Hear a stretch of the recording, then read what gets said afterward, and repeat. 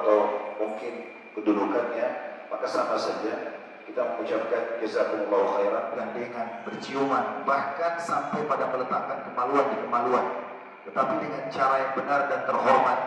Nabi SAW menjamin kepada kita artinya jika seorang hamba itu telah menikah tapi pas tinggal bertemu menikahkan anak malu. Kalau menikah tidak tidak ada apa-apa. Nah, terus keluar dari